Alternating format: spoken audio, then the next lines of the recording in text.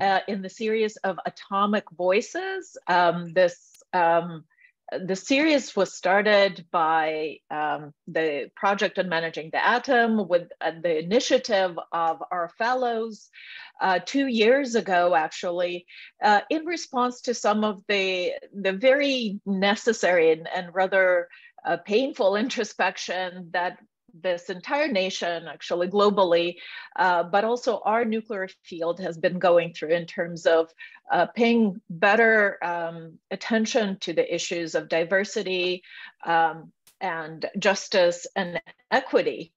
Um, so we have conducted already a, a, series of seminars. You can find them on our website. And this one is our uh, first seminar uh, this year.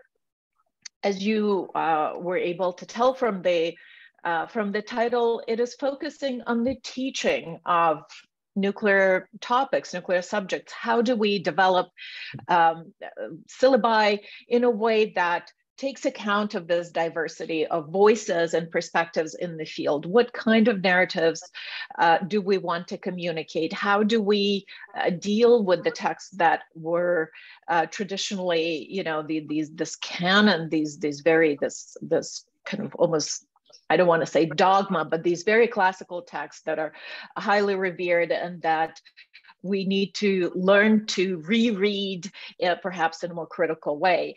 And um, with me today to discuss these issues um, are uh, is an incredible lineup of speakers and i'm very thankful to all of you for finding the time to join us today. Um, and i will introduce them very briefly. You will find their full um, or the more expanded bio, uh, bios uh, again on our website. Um, but just to to give you um, a sense of, of of the kind of scope of expertise and also perspectives that we have here today, we're pleased to welcome Anne Harrington, uh, who's uh, an associate professor uh, at the Department of Politics International Relations at Cardiff University in Wales. Um, and she, she held numerous fellowships and uh, and his, is is pu widely published and is uh, is a very accomplished and interesting scholar in her own right. But she also uh, and her research is focused on nuclear nonproliferation, deterrence and disarmament. Uh, but she is also a co-founder of Highly Enriched, which is um, which is a platform, an online platform for teaching resources on nuclear issues that has uh, has coped in, or has dealt in, and it exactly is created for the kinds of um, kinds of with the kinds of issues in mind that we will be speaking uh, of today. Uh, we also welcome Rebecca Davis Gibbons, who's um, an assist, uh, assistant professor of political science at the University of Southern Maine. Uh, and she, uh, she is one of, formerly one of our own. She was a fellow and then an associate um, at the project on managing the atom. Uh, her book, uh, The Hegemon's Toolkit, just came out. It's it's uh, uh it's very highly regarded, and please please go and look it up. Um, and uh, uh, they we're also very very pleased to, to welcome David Holloway of um, who is a um, um, Raymond's Spruance, I'm sorry, professor of international history and a professor of history and political science um, at the Stanford University. Uh, he has, uh, is emeritus, is uh, recently retired, but he is still working uh, on, on the book on, on, the international history of nuclear weapons currently. Um, and he's, he's a, a, preeminent authority on the Soviet nuclear program. Everyone in the field knows his classical book, Stalin, Stalin and the Bomb. But of course, uh, he has contributed greatly uh, greatly to our field, and we're very fortunate uh, to have him join us today. Uh, and last but certainly not the least is Karthika Sasikumar, who is um, uh, who is a professor. Uh, sorry. Um, um, who is a professor of political science at the San Jose State University. She is also formerly one of our own. Uh, she is a, she was a fellow um, at the project on managing uh, the atom. Uh, she uh, has researched and taught widely in uh, in our field um, and has has has a lot of excellent scholarship that I know I have consulted also in, in my own work on international regimes and international norms in the nuclear field. So uh, without further ado, um, I will ask um, uh, I will ask Rebecca to go first. I, have asked all of our participants to prepare just a set of of reflections and remarks on the topic.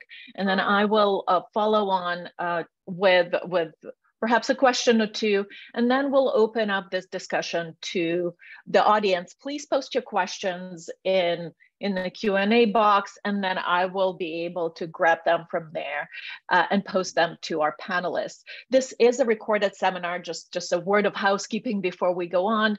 Uh, it will be later available on our website and, and transcribed. Um, so, so please keep that in mind when also presenting and, and asking questions. Um, and with that, Rebecca, please, the floor is yours. All right, thank you. Thank you, Mariana, for the introduction. Thank you um, to Managing the Atom for holding this event. I think it's really important to have this discussion. And I think I want to say from the outset that I am still learning and I I am still worried about saying the wrong things in these discussions. And so I'm going to try to be very honest, but I just want to acknowledge that these can be difficult topics to discuss, um, but that we need to discuss them. And that can't be an obstacle to having these discussions.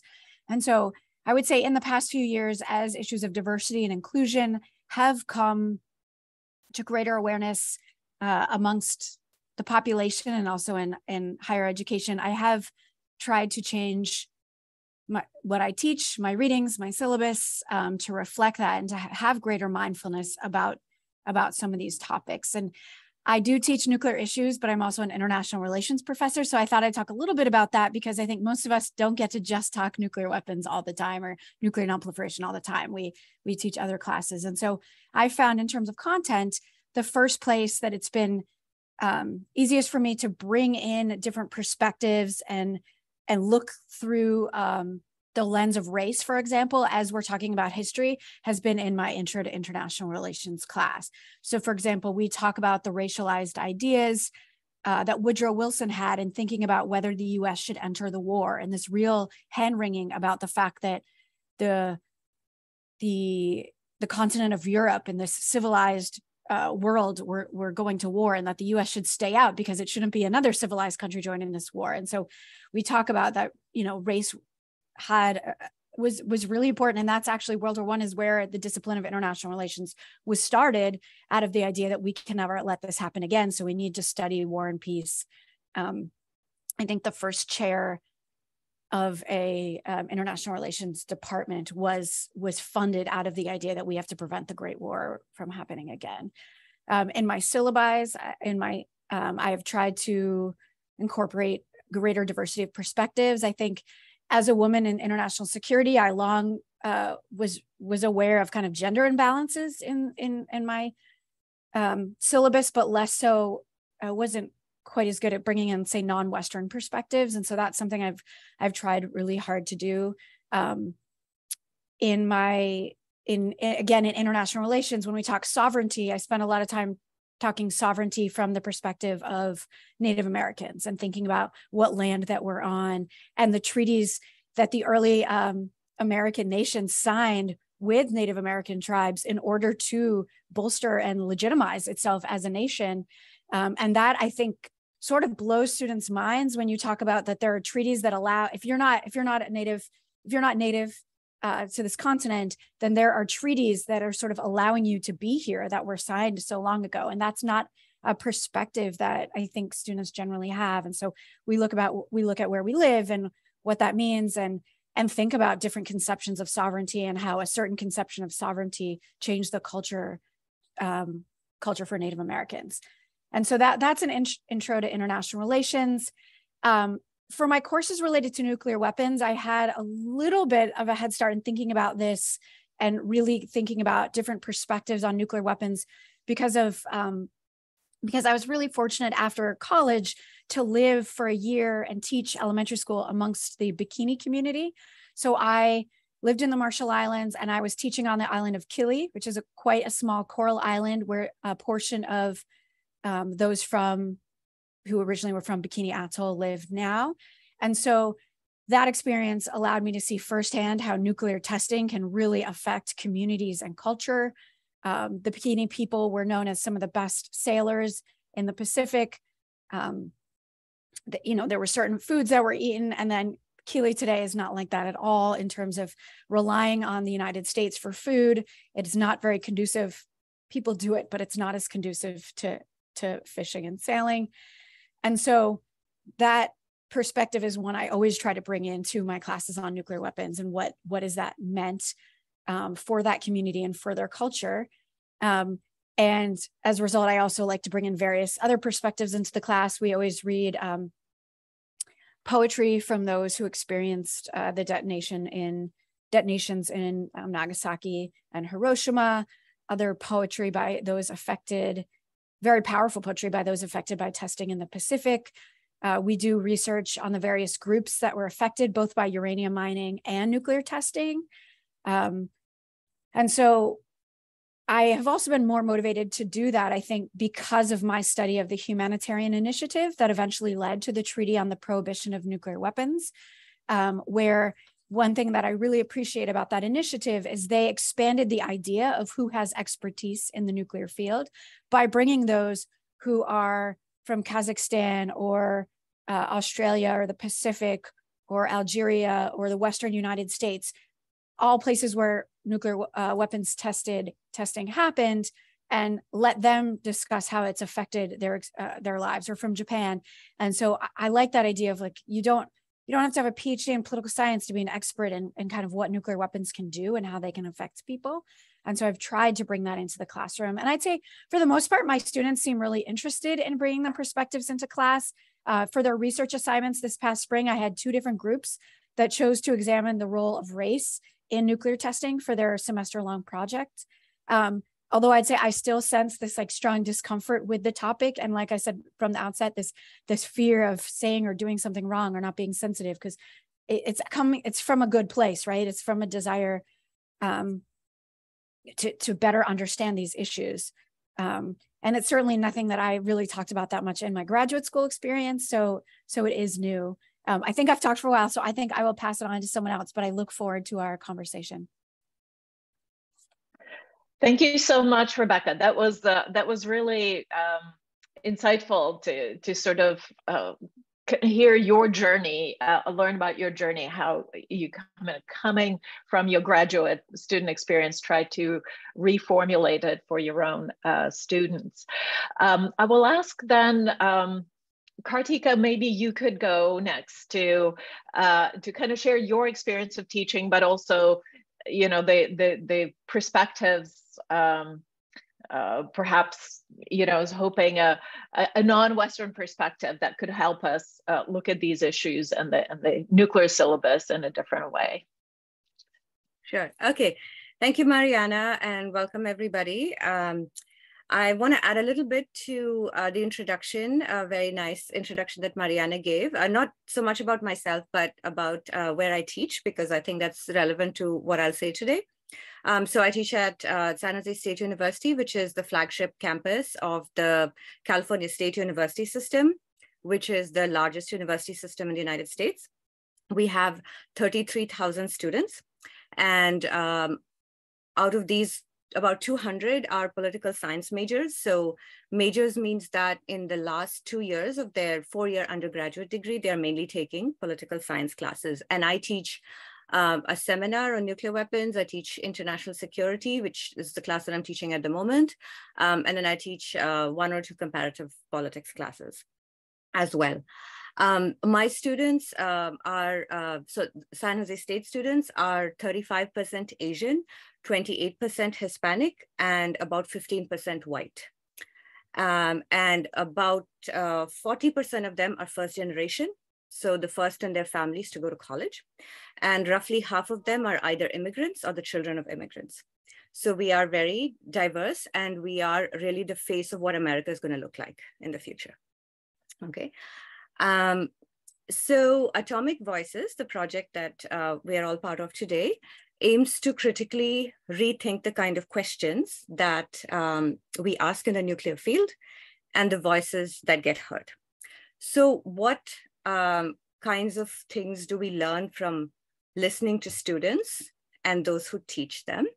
Um, so I commend the organizers for focusing on teaching because um, you know, when we're talking about diversity and hierarchies, um, there is a hierarchy in our profession, which is that research is privileged over teaching, right? Um, so when we listen to students, um, the first thing that I learned is that nuclear weapons, and certainly theorizing about nuclear weapons, is not one of their top concerns. So that was very humbling, right? Though I have to say that the last seven months, uh, though dangerous for world peace, have been quite useful for making the public and my students, um, you know, sensitized to the fact that nuclear danger is, is still with us. Um, so what can we do about this as educators? Um, and I think that we should try to make connections between uh, environmental and social justice and nu the nuclear complex. Um, and similar to what Rebecca just shared with us about her teaching, because these are issues that the students are, at least my students are very concerned about. And so, uh, you know, drawing the connections between the harms that the nuclear weapons complex uh, does to humanity and um, other uh, sort of big government um, issues. And, you know, there's, there's been a lot of research done on this, so I won't belabor the point. Um, the second point that I'll make is uh, the need for new texts or new classics. So I want to give a shout out to Rebecca's project um, to create um, uh, new classics, I think is the term that they use, and maybe she can talk more about that in, in the Q&A. Um, but I want to make a sort of related point that we must look beyond the definition of text as print on paper. We must meet young people where they are and whether they're at Harvard or Stanford or San Jose State, they are not consuming large chunks of printed material. Um, so we need to find audio and visual material. Um, and here I want to mention Anne's excellent work uh, with Enriched uh, for creating um, games and simulations that one can use. Um, I have uh, been creating my own simulations uh, for my classes that I create new uh, new ones every semester, and um, I do I do this for many reasons. But one of the main reasons, honestly, is that I want to uh, tool them to the strengths and weaknesses of my own students because I know them very well. I have small classes, so I have the luxury of doing that. But also to prevent cheating, which is a really big problem now with with online classes. Um, so I am, but also it's fun for me to make them. So I, I do a new one every every time. Uh, but I want to also suggest the work of um, Eric Schlosser and Adam Higginbotham on, on Chernobyl um, and the movie, I forget the name of the director, but um, The Man That Saved the World. I mean, these are all really excellent resources that I've used in, in teaching. So basically moving away from sort of the printed text. Um, in uh, another thing I want to point out about texts, which is again, a very, maybe a very banal point, but I come up against this brute force, which is the paywall, right? So I teach at a university that's not very well resourced. And so I have to look for open educational resources, or as we call them, OER. And that has forced me to look for um, fresh perspectives. And this has, um, in fact, I think improved my teaching because it's forced me to look beyond the canon, um, such as it is. Um, one additional point because Mariana requested me to bring in a non-Western perspective. We can talk all we want about diversity, but um, the scholars and students in non-Western countries cannot access uh, knowledge. They cannot access knowledge that is sometimes produced by them and that is about them because of the paywalls that are erected by publishers in rich countries. So there are um, many articles that are written by scholars in Western countries that are based upon interviews and fieldwork that are done in countries like um, like uh, you know like kazakhstan like india and pakistan and scholars in those countries cannot even read them because of the paywall. So i urge those of you that have any influence in these matters um, to be very mindful of where you publish and how you publish and to choose open access whenever possible. So the very last thing that I'll say is obviously about content. So to try and bring it back to the issue of content and the issue of new classics. So right now, after this, I'm going to teach my International Security POLS 157 class. And on the menu today is Kenneth Waltz's article, Why Iran Should Get the Bomb, and also Carol Cohn and Sara Ruddick's review article on feminist perspectives on nuclear weapons, because this is what we're talking about this week. Um, so we're talking about nuclear deterrence, obviously. But we need new texts that address the fact that while in the first two to three decades after the bomb, the problem that everyone was addressing was how do we deal with those that haven't learned how to play the game of deterrence, or those who don't want to play the game, say like rogue states or nuclear or, or terrorists. But in the last two to three days, as my students are going to ask me, uh, the country that's threatening is the one that is supposed to have kept the Cold War cold. Um, and the country that's supposed to be one of the responsible states uh, that plays the game of nuclear deterrence. So how do we deal with that? How do we create knowledge or you know peer reviewed uh, knowledge that i can assign um, that my students can grapple with this? So i'll end with that. Thank you Thank you so much, uh, Karthika. I think not only your students, we all have been grappling with this with this predicament uh, where uh, I don't think we have good text to, to try and help us understand and explain exactly what's going on in, in the past uh, seven months. Um, with that, um, David, if you could, uh, uh, if you could go next and and sort of share with us kind of this journey that you have traveled through the field for for many years and the and the, the experience you have had, um, such a rich experience of teaching, um, and all the students that have been through your classroom. Uh, how do you see this field has shifted, changed? Uh, what are some of the new threats and opportunities, as it were, that we're facing? Okay, thanks, Mariana. um, uh, when I got the invitation to take part, yes, I recalled that the first uh, course on nuclear weapons that I taught was in 1968 69. Um, so, uh, and I co taught it as a seminar uh, at the University of Lancaster with uh, Colin Gray, um, who uh, later went on to be uh, write a great deal about uh, strategy, strategy and nuclear weapons. And the way we framed it was in the terms that were popular at the time as a course about an arms race. And you know, what, what did we know about arms races as a category? And what could one um, say about the arms race that we were in the middle of uh, at that time.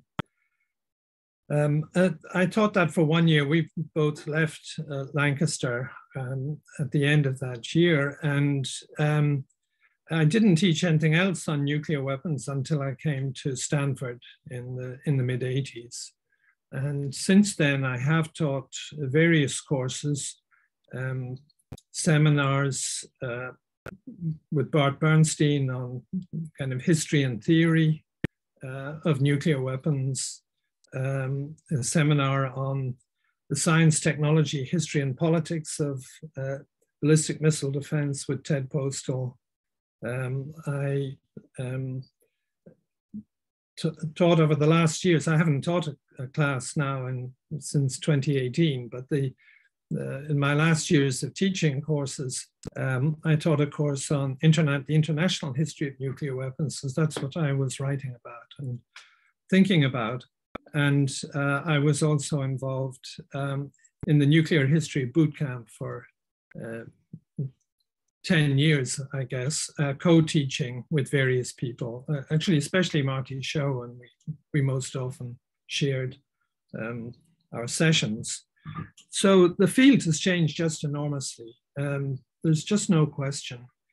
Um, and I think it's just there's so much more material, so many more doc. Well, first of all, there's a longer history. it's 50 years added to, um, you know, 23 years after the bomb, something like that, and um, there's a huge amount of scholarship. So, and I think of this my own just because I had studied Russian, I became interested in trying to understand the Soviet side of the uh, nuclear, well, arms race or Soviet nuclear policy.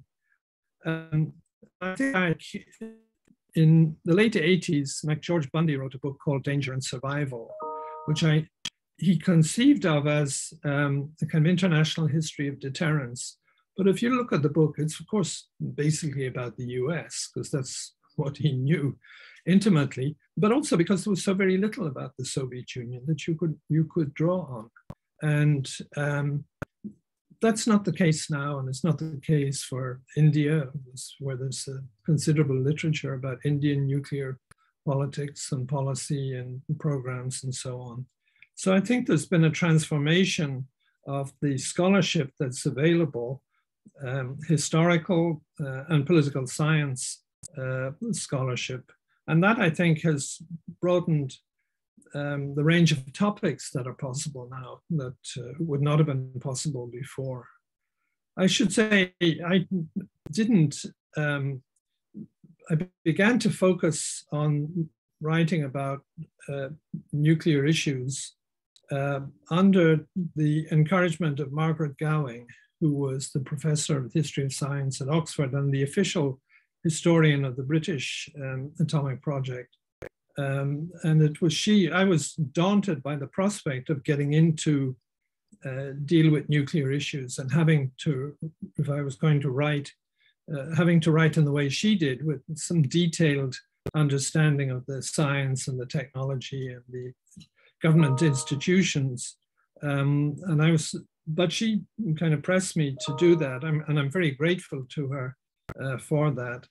Um, but uh, but more recently, yes, uh, probably in the last 10 or 12 years has been the time I've been most interested in the teaching of um, to do with nuclear weapons.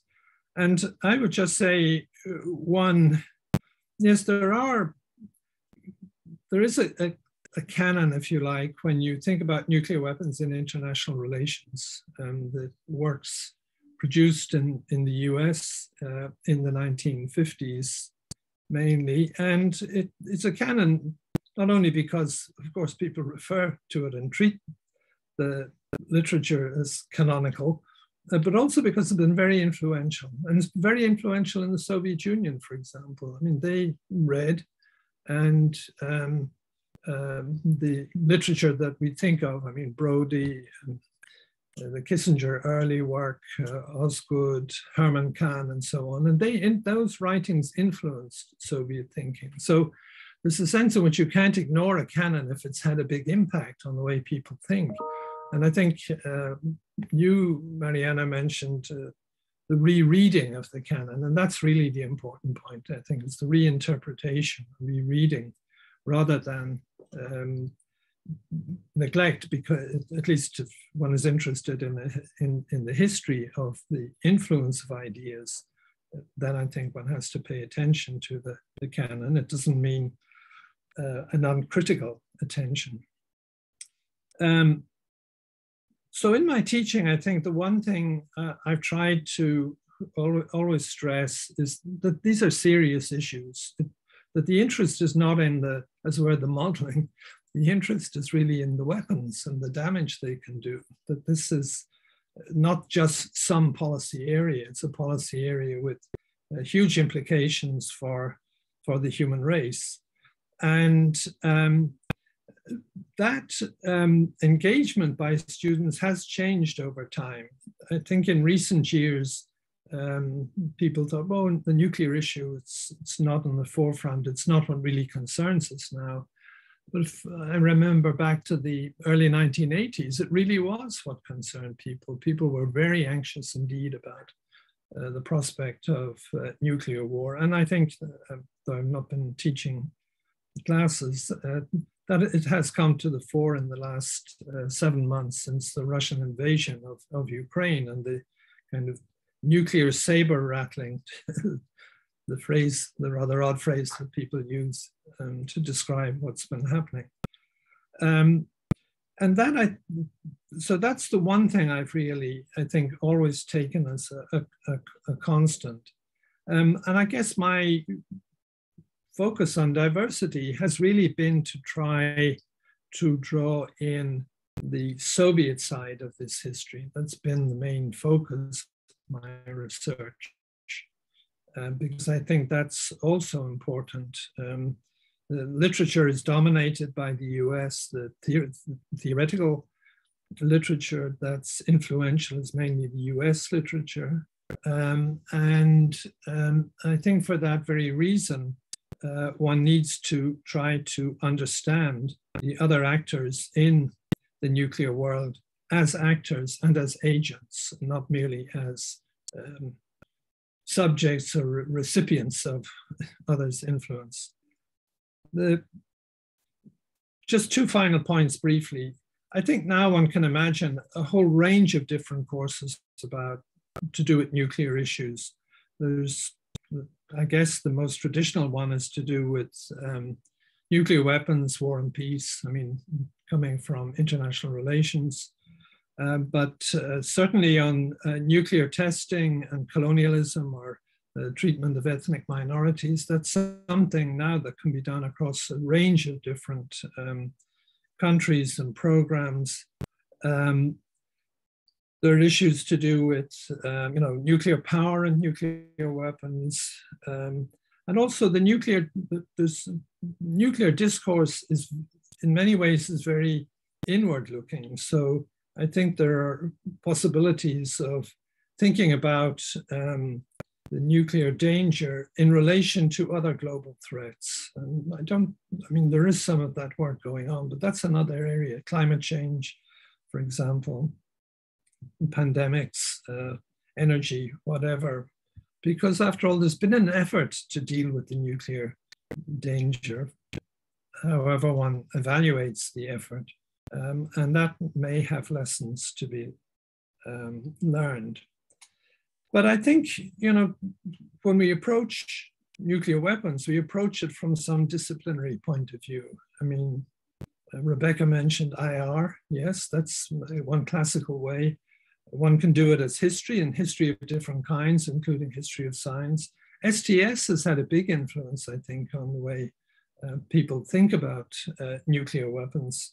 Sometimes a very strong influence, or sometimes a rather kind of uh, weaker, but nevertheless pervasive sense uh, of one, one doesn't ask just what is the impact of nuclear weapons on international relations, because one has to think what's the impact of international relations on nuclear weapons. It's not, um, the technology isn't just, uh, as it were, a given. Uh, psychology, um, uh, so there are different ways of thinking about uh, teaching about um, nuclear weapons or nuclear issues and I think the question I have in my mind is, there just one thing? Is there nuclear studies? Is that one thing? Or is it just different things when viewed from uh, different uh, disciplinary perspectives? So I leave it at that. Thank you. Thank you so much. Uh, I, there's a lot to ponder. And now that I was uh, listening to David, I think what maybe after um, Anne uh, completes her, you know, delivers and completes her remarks, I'll ask, uh, I'll go back and I'll ask each one of you to maybe reflect on some of the things that you've heard from others presenting because I see a lot of nodding heads um, and, and kind of pondering faces. And I think it'd be interesting to hear how we all sort of react to, to each other's remarks. And um, but not before we hear from Anne and, and her, um, you know, you bring it all together for us as, if possible. And um, also tell us more about this highly enriched uh, uh, project that, that sounds very necessary and very cool. Thanks. Uh, thank you, Mariana, for the invitation. And it's always lovely to see Rebecca and Karthika and David. Um, I'm very honored to be on a panel with all of you. Uh, so when I'm listening to everyone else's comments, um, I'm hearing that there's different ways that we think about um, bringing diversity to the table in teaching. And one is the idea of where are we sourcing the materials and who are we um, whose stories are we telling when we're choosing what to assign? And um, that was i think rebecca talked about that in particular when she talked about um, teaching on the experiences of um, people in the pacific right? And how that differs how their lived experience gives a different experience of what what nuclear weapons mean to communities and populations. And then Karthika um, talked a lot about um, diversity in terms of who we're teaching, um, who are we speaking to as teachers. And then um, I think that there's also the question of diversity in terms of to what end are we doing our teaching? And um, that's something that I concern myself with a lot because I live a kind of um, sort of hybrid life in the sense that I'm married to a senior military officer. And I also spend a lot of time writing about diversity in the military and talking to a lot of people who work in the nuclear enterprise in the United States Air Force. Um, and at the same time, I teach at a university in the United Kingdom where the predominant um, approach to international relations within the department I teach in is a feminist one. And in particular, it's a feminist one that challenges um, even the idea that we should be teaching the canon at all. It's it it's challenging the notion that that is something that is a relevant thing to teach to our students, right? So if you take feminist international relations courses at Cardiff University, you're not going to learn who Thomas Schelling is, right? Um, and so I frequently feel as though I'm, you know, the most radical person in my US context in terms of my points of view, and the most conservative person in my UK context um, in terms of my points of view. And when I look at this question of teaching to what end, um, I always struggle with the idea that you have a limited amount of time with any one student in the classroom and you have to choose what to share with them. And if you want to teach people what they need to know in order to be um, seen as an expert within the nuclear enterprise, it doesn't really matter whether it's in the UK or the US, a nuclear weapon state, or even really a non nuclear weapon state. Uh, they need to be able to, I think, address and respond to uh, the canon, right? They need to be able to understand what those comments are. You don't want them to be hearing about um, mutual assured destruction or some of these really core second strike capability. You want them to be fluent in that language before they go out in the field. Um, but at the same time, and I think that's true whether you conceive of the field narrowly as being the nuclear enterprise in the sense of um, uh, working for either a national agency or an international um, um, organization that um, is part of either the nonproliferation structure, the deterrence structure, or working in the advocacy side of things in terms of pushing back on those things. Um, I recently had a conversation with um, someone who teaches in the um, Strategic and Nuclear Deterrence Program, SANS program um, for the US Air Force. And she wanted to talk to me. we had a fantastic conversation, but she wanted to talk to me about what to assign so that she could effectively teach nuclear um, officers working on these things to think critically about how to respond to the arguments from the disarmament community, right? Which is a whole different way of thinking about why we're teaching diversity of perspective, right? But that to me says a lot about um, how important those views are being taken if people are thinking about how do I incorporate that, right? And looking for that as a resource. Um, and then there's also just the kind of broader question of uh, many of the students that we teach are never going to do anything with the nuclear field at all, but they need to be informed citizens, right? Especially when you are living in democracies where people are voting and making decisions about what are what these enterprises look like. And one of the things that concerns me about this stuff is um, I'll tell you a quick story about I was working on Capitol Hill for a while and um, I was working for a senator. And in the evening, I was teaching at George Mason University. And I was doing that because I wanted to get an academic job and I needed to maintain my teaching credentials. So I would go out there in the evenings. And the thing about teaching in that master's program is that you get staffers, young staffers who are looking to get their master's degree coming and taking classes from you. So I was a staffer for Senator Gillibrand, and it was at the time that um, things were um, heating up with the Iran deal. It was before it had been, um, the JCPOA had been completed. And uh, I had a staffer from, it was um, Senator Mark Kirk from Illinois, who was famously very conservative on all these issues in my class. And I'm I like to teach my preferred kind of slice of how I teach these things is I like to teach classes on that I would call nuclear threats and the control of fissile materials. Um, so I like to teach classes that combine some of the core principles of deterrence along with this nonproliferation structure and the reasons that the, the nonproliferation structure exists.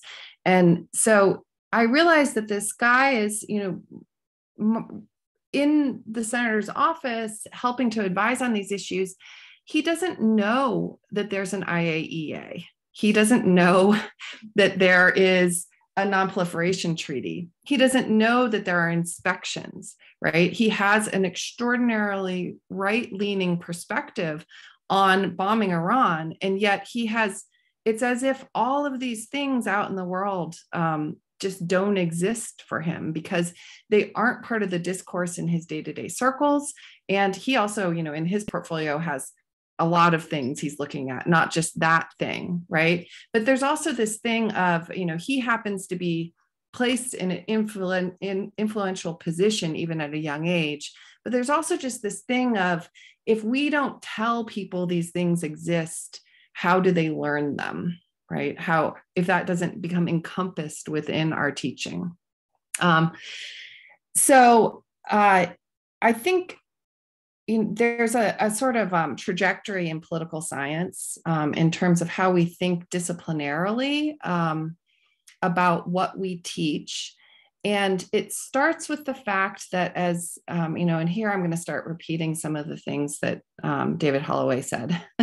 Um, it starts with the fact that many of these core concepts come to light in the 1950s, and the canon comes from this place, but that place is a place that's constrained by the assumption of a rational actor, right? The person at the center of that is identityless, and they are um, they're the, it's it's almost as if it's the opposite of a diverse perspective. It's one universal perspective. And then that one universal perspective, as David already shared, gets um, uh, it starts to travel, right? It starts to become influential in many different places around the world, right? And it is very, um, it's very ahistorical, but it's ahistorical almost by necessity, almost because nuclear weapons are so new and they challenge so much of what we already know.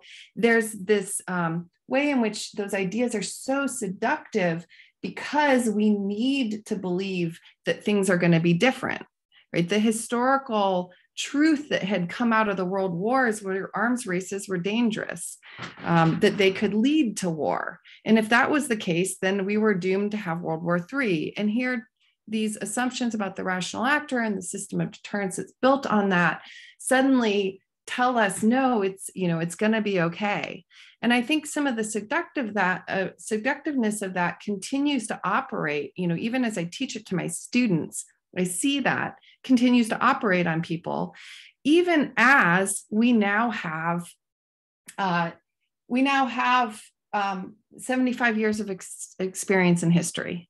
It's no longer a, a historical field, right? We have a whole swath of work.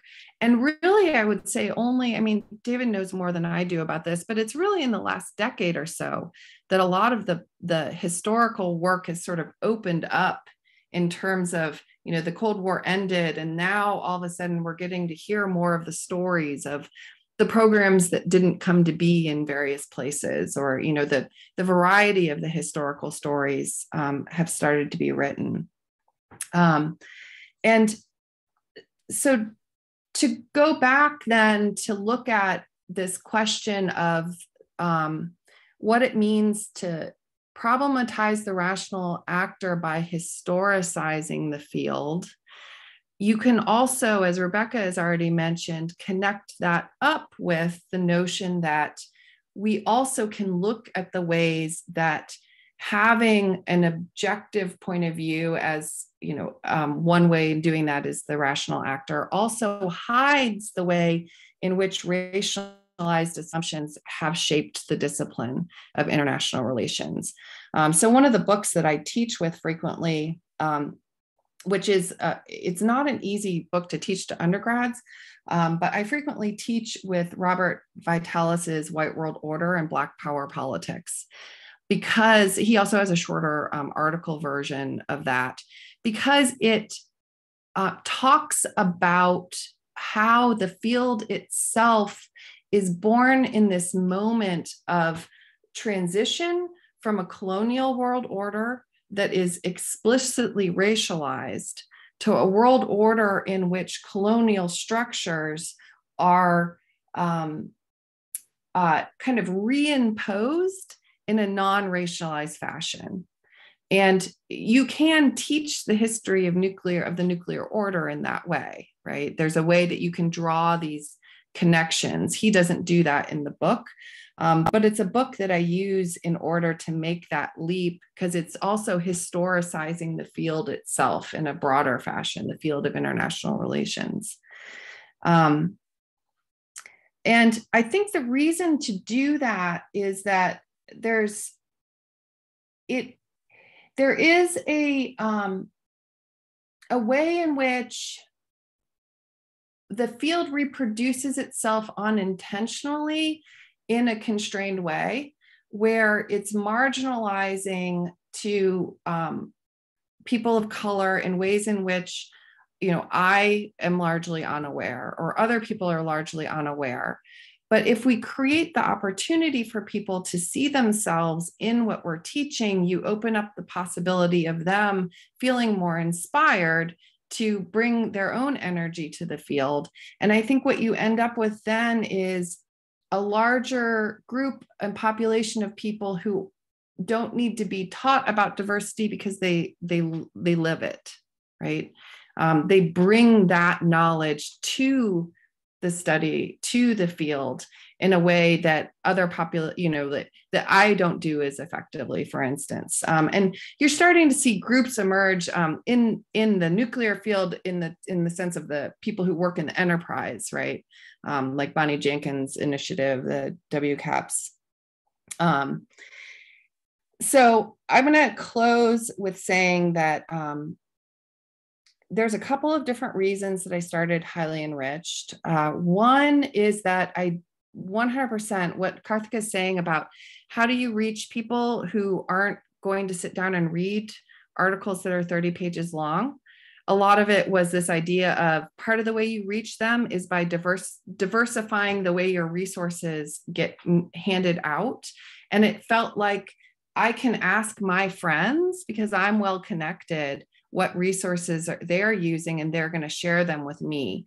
But how do I do that for um, people who may not be connected in the same way I am? And so, crowdsourcing something and trying to keep it free and available is one way to do that. Um, the other piece of the website, Highly Enriched, so just so, so people know, the concept behind it is pretty simple. It's supposed to be a kind of like all recipe for teaching resources um, in the in the classroom on nuclear issues but we also decided to in to put a mentor portal there. It's um, right now still very highly representative of people who've worked in the DC nuclear space. But you know, I had the great privilege of um, being at Stanford as a CISAC fellow with David, and one of the things about those kinds of environments is that you meet the people who are making the policy and have the opportunity to talk to them and interact with them and learn what their lives are like and make those connections. But those connections don't necessarily um, exist in the same way. I happen to be in Texas right now, you know, at Texas State University, San Marcos. So we included a mentor portal of people who are willing to give informational interviews and are willing to be contacted by the site. And that concept is have people invite these mentors into their classroom, give um, a, a, lecture on things. Like, so we just signed up um, Shirley Johnson. She frequently lectures in my classes for me. She's an IAEA, retired IAEA and EA inspector who was there on the field doing many of the things that we read about in the history books and gives a fantastic lecture on those things. And then is willing, you know, if you have people who want to find out what was it like, how did you get into this, what, you know, she's willing to follow up and and have them ask her those kinds of questions. So the idea is to kind of try to create this synergistic experience where you're diversifying things and you're also opening up these networks to um, places that are maybe a little bit further from centers of of power. Um, and the last thing I will say is that um, I've been doing a um, plowshares project. I've just started it with Shampa Biswas on um, decolonizing the nuclear studies curriculum. Um, we're going to be putting together modules that are specifically aimed at these topics. Um, and as part of that process, we've been having a, these conversations about pedagogy and these ideas of, I always start with the canon but I've gotten a lot of challenge from that because people have said, no, if you start with the canon, the students identify with that thing that they learn first and it's very seductive. And then I go, I want to go back and say, okay, and now everything I've taught you is limited and nuanced and not quite correct in all of these ways. And now I'm going to introduce you to all of the ideas that push back on that. And um, I co teach a course on, um, uh, we call it International Nuclear Politics. Um, with Campbell Craig at Cardiff University. And we co teach this course, and it drives towards these questions of how do you how do you resolve the nuclear dilemma right and we present various options to them and campbell and i always kind of compete at the end to see do students come away from this thinking that disarmament is possible nuclear disarmament or impossible right and campbell has his own um, idiosyncratic take on all of this but his answer is that it's not possible and my answer is that it's possible and then we read the students essays at the end to find out right but he always starts by teaching the history and the and um, elements of, of the canon from the development of the U.S. Soviet relationship, and then I come in um, with more of the STS inflected um, uh, arguments and the nuclear nonproliferation treaty. And I have to say that um, I always get one or two out of a class of, of 60 or 70 students. I always get one or two who come along with me, but the vast majority are are profoundly swayed. And so I, I have been taking on board this idea of does it matter um, in what order people get introduced to ideas? Um, does it matter pedagogically where you where you begin?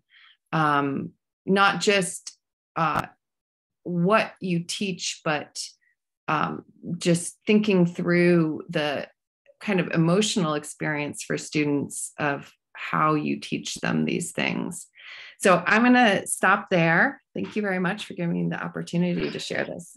And thank you. This was um, this was super insightful. I, I've learned a lot from you, but uh, it also raised a lot of interesting kind of uh, thoughts in my head and the, the um, you know, I haven't taught uh, much, but the one course I did uh, teach that I developed myself sort of took a creative license uh, in developing on nuclear issues.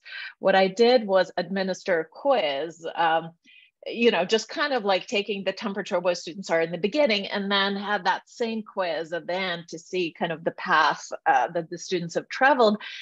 And I found that you know after 12 weeks of talking and teaching and you know all these different perspectives that i tried to convey really that rational actor deterrence model was very seductive right that even those who were didn't know much about it or were skeptical at the beginning were like mm.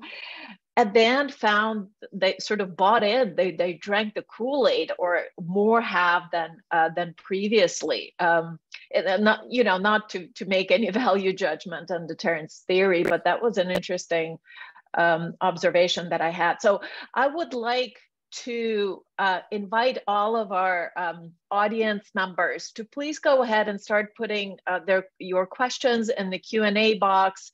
Um, and while you're doing that or thinking through your questions, um, if, if any of you, Rebecca or Karthika or, or David, if you'd like uh, to, to reflect on anything that's been said so far, um, please do so. Rebecca, do you?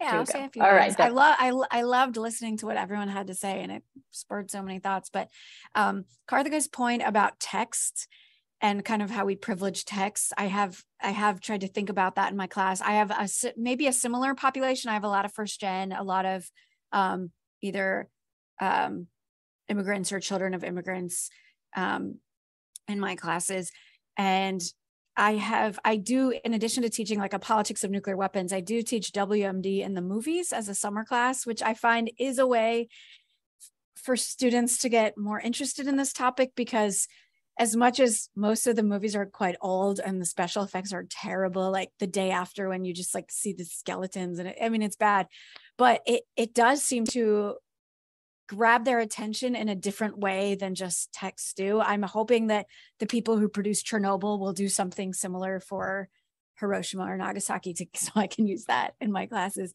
Um, I do have the problem where Dr. Strangelove comes on and it's black and white and kids immediately think like boring. And so I've, I've struggled with that. But in general, I think that's a good way. And I do think there's a lack of, I mean, the kind of articles that we're incentivized to write as scholars are not necessarily, are, are not the best articles for for example teaching undergrads. They're just not right? So i every almost every year someone emails me and says like i need just a basic text about the nonproliferation regime and it's just it's hard to find um, that kind of just basic information to assign to students without assigning these sort of articles that they find full of jargon that are too esoteric. Um, so i think that is a challenge.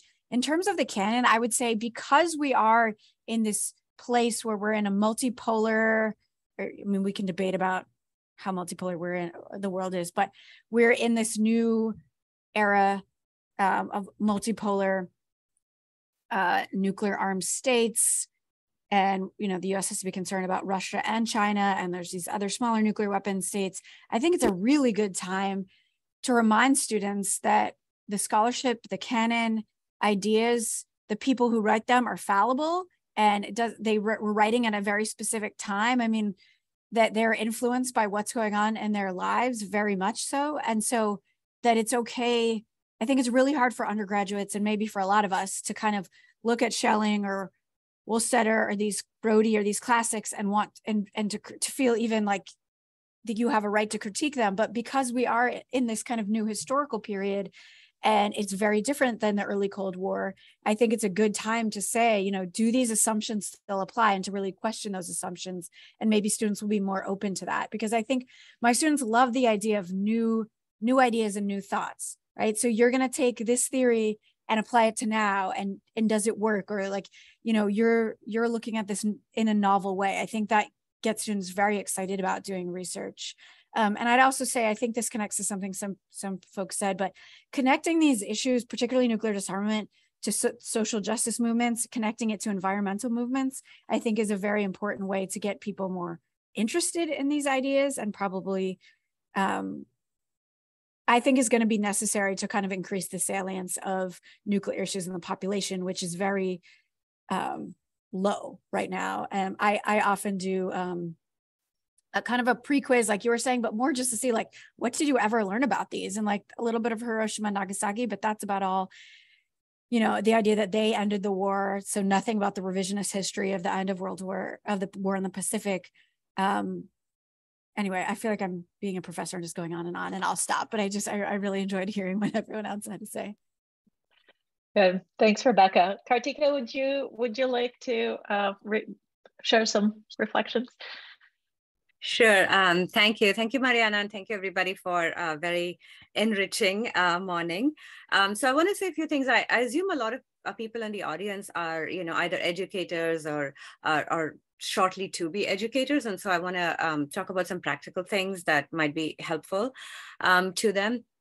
And uh, so one of the things I want to say is that, you know, there's something very um, um, I think, off-putting about um, the nuclear field, right? Which uh, certainly I felt as someone who was not um, trained in science and technology um, when I began to read about nuclear um, stuff. So it seems very sort of sophisticated and seems like, well, you know, I, I think David sort of mentioned this also.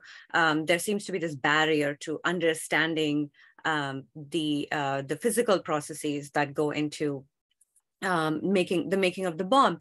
Um, so one thing that I like to do is to give my students a sense of efficacy when, um, and uh, it's true when you give them a quiz at the start, um, and I do this sometimes too, not just in my nuclear weapons class, but even, you know, in um, other classes, just to an ungraded quiz to sort of gauge where they are, and the results are always horrifying. Um, and you know, Anne pointed out that even staffers on Capitol Hill lack basic knowledge about you know the, the, so so i'm not uh, i'm i'm less and less horrified that my students who are you know as i pointed out um uh, first generation there in their families to go to college uh, don't have this knowledge. But what i then want to do is to to explain to them that just because they don't have this knowledge doesn't mean that they don't have a sense of efficacy.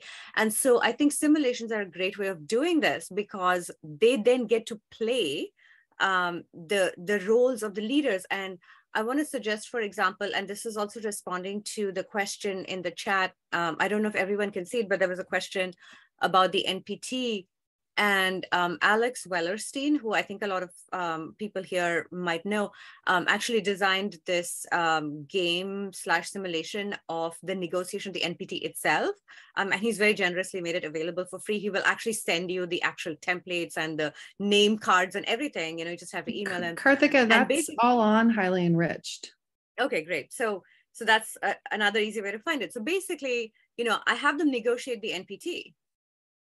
And sometimes you get very random results, I have to tell you. But um, so, you know, so I tell them, okay, so you think the NPT is, this, you know, this artifact that's out there and, you know, you just have to learn about it. No, actually, you can negotiate it, right? And so, um, and similarly, you know, you have an international crisis and you have them play the roles. And this has two effects. One is it reminds them that the people that are negotiating the JCPOA right now, as we speak, are human beings just like them but it also shows them that those people were also grappling this very complex set of circumstances just like they are right? So like mario rodrigo that they've known you know for four years now uh, is is you know going is someone that their you know the iranian counterpart might have known for four years. And so it's it's actually a very humanizing but at the same time very useful reminder um, about what Rebecca was mentioning also that, you know, sort of like demystifying uh, these historical artifacts are just presented to us as always having uh, been there. And I also just want to mention, in case people are a little confused about my background, I just realized that my uh, campus admin has created these new backgrounds. This is actually the Paseo, which is um, right in front of my office. And um, this is a, a mural of Mahatma Gandhi and the reason it's on my uh, on the paseo in my university is because uh, Cesar Chavez, who is from San Jose and was a leader of the farmers movement, um, was inspired by Gandhi, and so he's he's on the other side. I, I don't know if I think I move my head, you can you can see Dolores Huerta was another sort of farmers movement person. So uh, where I work is very sort of imbued uh, with um, with the history of social movements. And so it's all the more important for me to link uh, what I do with that history. Um, and just talking about nuclear weapons and isolation is not going to work. Yeah, thank you so much. Um, David, would you would you take the floor for a bit? Yes, let me just uh, pick up on two things. One is on um, complementing texts with uh, visual uh, material. There is a lot of very good, uh, I mean, a number of extremely good movies, some of them in black and white, I'm afraid, um, dealing with nuclear issues. One that I think maybe not that well known, but is, is quite short and I think quite, um, actually quite terrifying, uh, is the, the War Game, which was made for the BBC in the 1960s. And when it was made, then um, the BBC wouldn't show it because it was too alarming. Um, uh, I, I certainly had, it was one of the things I think that got me interested in nuclear weapons because it was shown at universities. It just wasn't aired um, um, on, on, the, on, on the BBC. Um, and in, in my undergraduate uh, class, I would have, um, as a way of not taking up the class time with showing movies, I would have a requirement that the students write a, commentary on two different um, movies or documentaries out of a, a, a, small group they could select. And I would just make sure those were available in the library or, or were available online. And that was a way to try to get people to, to use the other material. I think that was, that was quite successful, actually.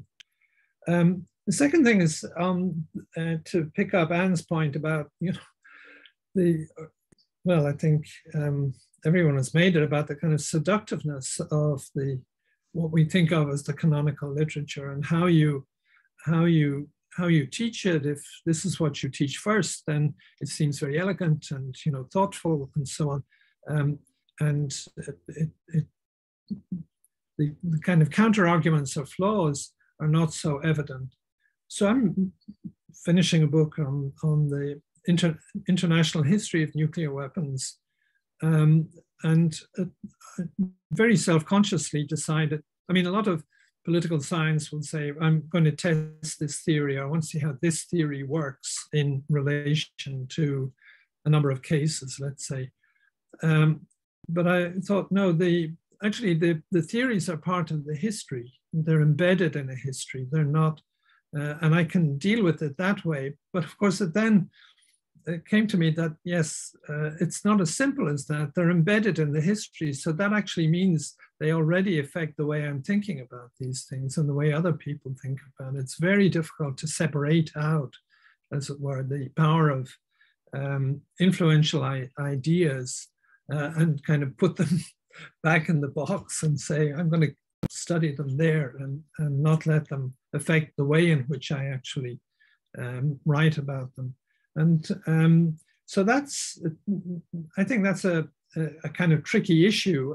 And um, so one of the, the challenges I have is, is how one, as it were, deals with writing the history and the um, role of ideas or concepts or theories about, let's say, about deterrence, with that oneself being influenced in the way one writes about this whole um, language, which has, uh, which is hegemonic uh, actually in, the, in in our field, and so that's um, so there are tricky issues there, and uh, I think um, I'm, I mean, I have grappled with them as best I can, and no doubt um, when the book is finished uh, and published, um, see whether I've grappled with them successfully or not. But... Yeah, it um, it really uh, strikes me that you know it it would be you know in as much as possible teaching these canonical texts for, for the lack of better word you know, signing them alongside, um, you know, if available uh, at all, a text that puts them into the kind of uh, historical, kind of intellectual history, as it were, context in which they themselves were created would be very helpful. Uh, and in that, say Benjamin Wilson's work on on Schelling and the intellectual history of that, and how he brought all sorts of concepts from from different disciplines into the into nuclear strategy, I think is a um, is a very helpful way to to exactly that, not to discard these texts as uh, you know outdated for instance but to read them uh, and try to reinterpret them um, in that historical moment that they were. And there's a comment actually in the chat that says it's from Matthew Bunn, but I'm suspecting is from Francesca Giovannini, um, who's at Matt's account and says, but the quote unquote universal perspectives created in the 50s was not in fact universal. Um, it was shaped by a particular national, cultural, gender, racial, and other contexts, uh, while claiming uh, to to some sort of uh, universality, which is which is certainly right and some something we are um, discussing here.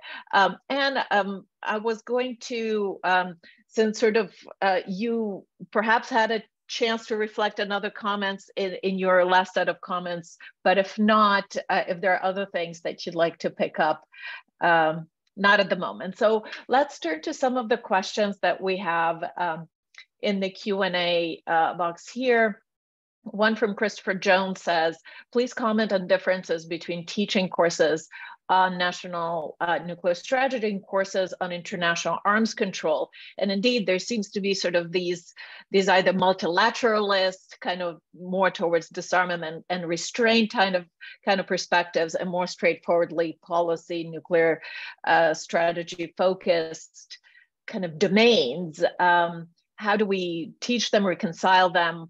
Uh, are they are they the kind of courses that kind of hone different people for different contexts? Uh, do we silo people by by you know teaching one part uh, but not the other? Um, anyone would like to uh, to take that on? I mean i if i can start or david are you would you like to start? Oh why don't you start? Yeah I'm just going to say, I find this to be a real challenge because I want to have a comprehensive class. And the way I teach it, it's the politics of nuclear weapons. And that could, that could mean a lot of different things, right? Um, but because of my area of interest, I do like to focus on non-proliferation. So I kind of start with a history of the nuclear age, cover some basic concepts like deterrence, MAD, second strike capabilities, um, but not not in such a level of detail about like nuclear strategy then we kind of look at the theories of why countries want these weapons, and some of them fit in with those security strategies, and then look at non-proliferation, different means, and then like the end question is is you know disarmament both feasible and desirable. Um, but I I I feel that I always feel like, oh, did I shortchange my class if they took a nuclear class and I didn't talk like nuclear strategy?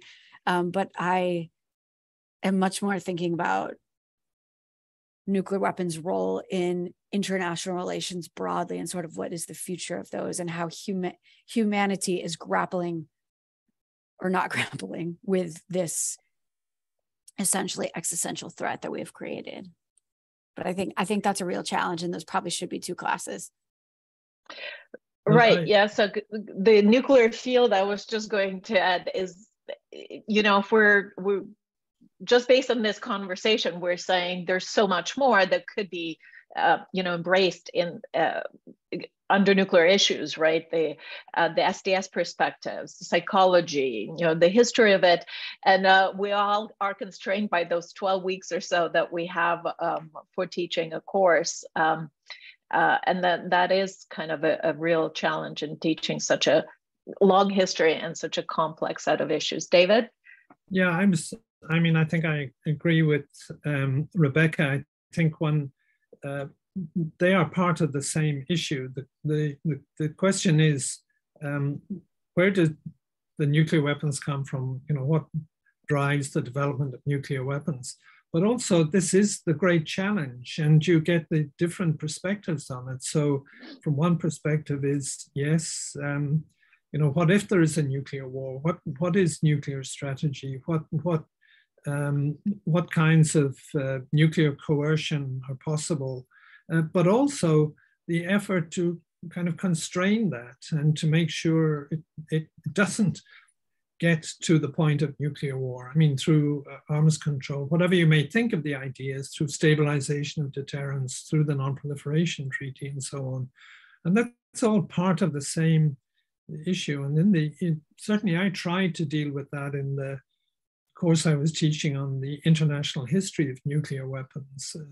You could teach a course just on arms control, so people would know you know, what the non-proliferation treaty is or what the different um, strategic arms um, control treaties have been.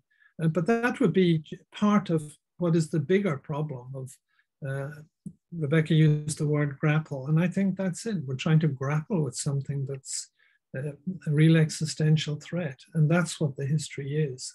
How we've how we've tried to do that, how we've um, or not tried to do it, uh, what has been helpful, what has not been helpful, what uh, Anne's question, what's ultimately possible? Um, you know, is, is, disarmament possible or not? Or, and if not, then what? so I mean, I think it's all one great um, set of interrelated issues, and it is very difficult to convey all of that. I mean, at Stanford, we have 10 weeks. Um, so we have to, you know, which strikes me as very, very little um, um, to, to cover something like that. And that makes for difficult choices. And, and it does, uh, and I think certainly undergraduate courses are for general education. People should, citizens should know about this. People want to be specialists, they can decide that and go on later for more specialist training um, as graduate students or then postdocs or whatever. Um, but the, I think the ideal is a course that somehow manages to engage all the different dimensions of the problem. Indeed. Um, just, um, uh, I, and I, uh, I see you're ready to comment, so you go ahead.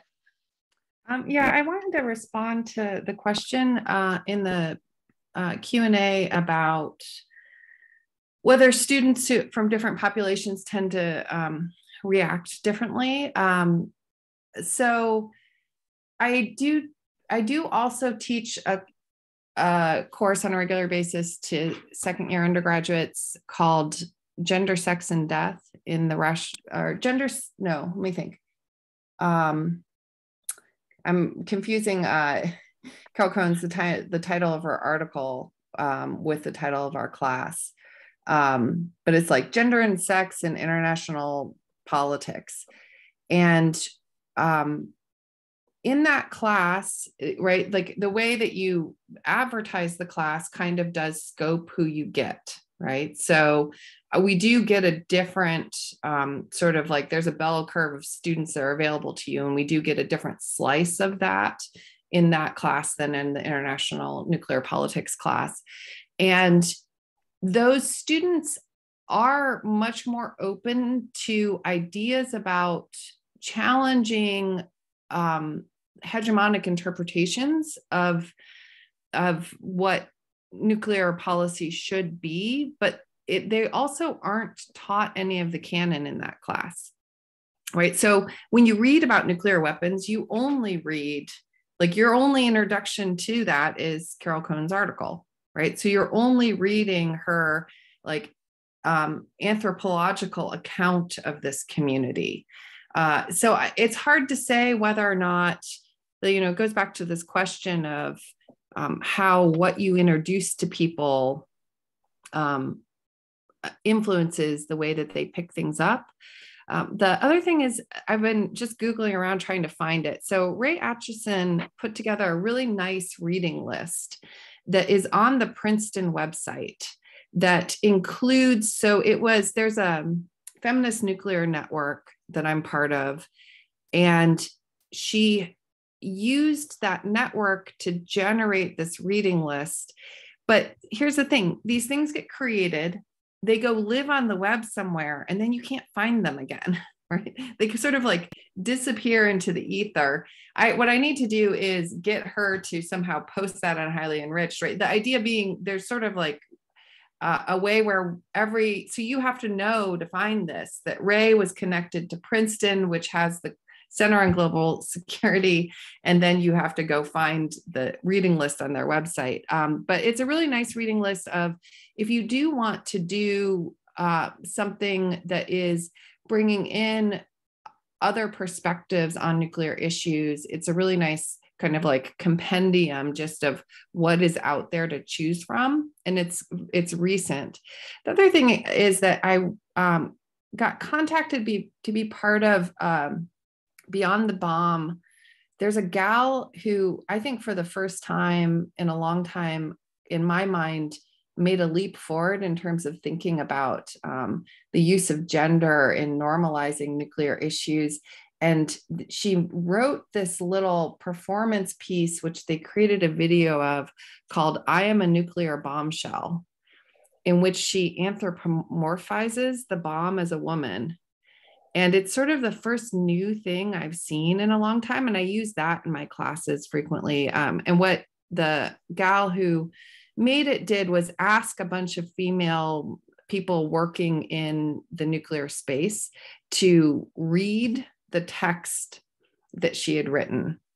So you have all of these female voices talking about, um, you know, I am a nuclear bombshell. These are all the things that I do, kind of thing, right? So it's this sort of like um, ode to female empowerment um, that is done in this way that is taking the traditional gendered ideas about um, nuclear weapons and almost turning them on their head so uh, you know i'm always also when we're this question about what texts push students to think you know that's the kind of thing i use in the class that i teach on gender and and, and international issues um, because it opens up a sort of new way of creating gendered associations um, so there are differences but it always goes back to you know i don't use those things in my international nuclear politics class because getting the students in that class to be smart on um, gender in a way that they would need to be in order to take those up and understand them and interact with them in a way that would um,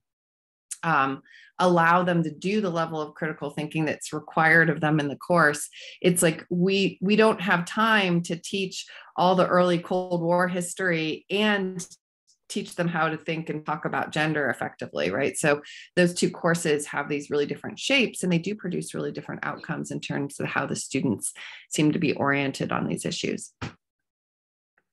Right. Thank you so much, Anne. And uh, Karthika, you you emphasize that uh, kind of the the diverse uh, background of your own students, and also some of um, you know, we've, we've talked about this in a previous seminar, um, I think, on, on race issues and nuclear issues, is that, uh, you know, oftentimes the interest of, um, you know, non in non-elite, non-white schools towards things like nuclear policy is very limited because that's associated with the state policy. And oftentimes uh, you know uh, the the uh, the underprivileged um, uh, parts of the society feel like the state has failed them. So there's kind of this negative association a priori that might affect um, the sort of the engagement and the interests of uh, of students in that. Do you find that in your teaching experience as well?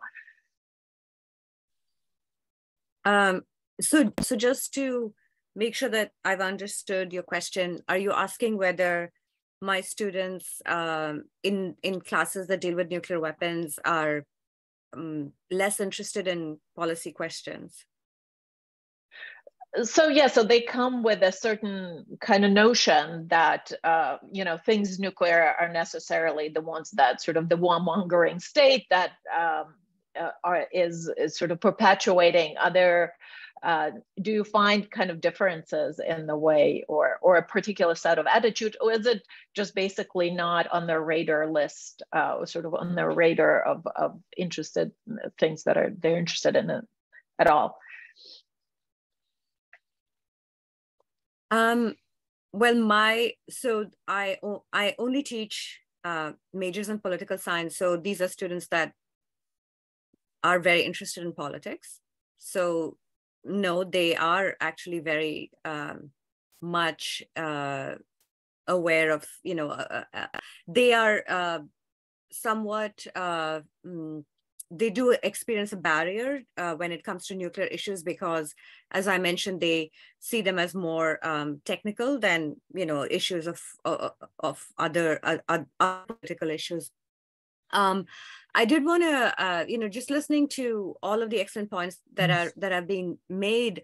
Um, I I wanted to say something as as an instructor who's been teaching for a long time, um, and I I I, I realize it sort of goes counter maybe to uh, some of the things that have been said, but I feel like I should say this because I'm uh, I want to sort of uh, deter um, feelings of anxiety that maybe some people are feeling. Um, and this actually just goes to something that Anne said. I don't think that we should feel like we have to do everything, right? And we definitely don't have to do everything in any specific course. So whether we have 10 weeks or 12 weeks or 16 weeks, um, and use the way uh, the the phrase I think uh, ways of thinking. I think what's really important is to impart ways of thinking um, you don't have to e- explain to them how to be feminist. You don't have to uh, you know even teach them about specific feminist concepts. You don't even have to really explain to them uh, what mad is or you know the different critiques of mad. Um, they may not get most of it right away. And i know this may, may seem defeatist but what i think our role as educators is is to uh, give them the tools to grapple with it just as we as scholars are grappling with this enormous concept of you know weapons of mass destruction. Um, and i think that there's this uh, feeling of anxiety that oh you know first of all you know we have to do all of our uh, teaching and service and research and and now we also have to be conscious of diversity. And then even within diversity we have to be conscious of all the different types of diversity and we have to make sure that our students are as well.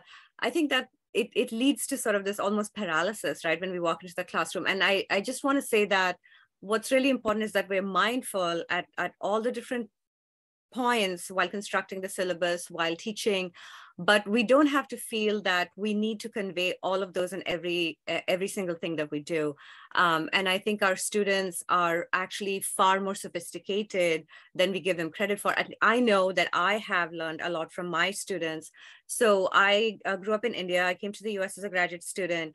Um, and i'm very conscious that my position um, in uh, the classroom in American academia has always been as an outsider. A lot of the discourse about race, about diversity is foreign to me and will always remain so because I don't uh, see myself, you know, in those terms that that Americans use to talk about race.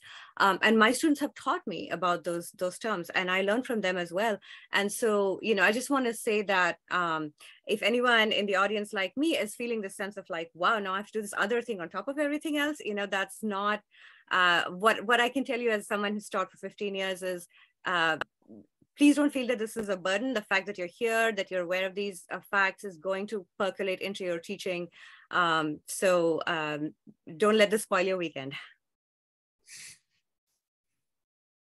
Indeed, indeed. Thank you so much. There's a let me just go through through some of the things in the Q and A box. There's a there's a helpful comment from um, Rick Cupitt uh, pointing to the IEA focus on or the uh, conference on international law and uh, a partnership uh, with law schools that would. Um, teach nuclear law um, or or engage with that, sort of creating um, creating or developing that part of the field. Um, uh, there was a comment uh, from a, a, a, physicist, a real scientist, about the, the sort of presumptions of political scientists to do sort of quote unquote science. It's it's a actually you know an old debate, and and we we are all um, we you know, if anyone would like to to to take that on and comment um, about sort of limitations of, of kind of the claim to universalities of any of these theories, but I think it it it goes well very uh, it goes very well with what we've been discussing here, just how to historicize, how to show the contingency of a lot of the things uh, that um, uh, that you know a lot of the ways of thinking um, about uh, nuclear weapons.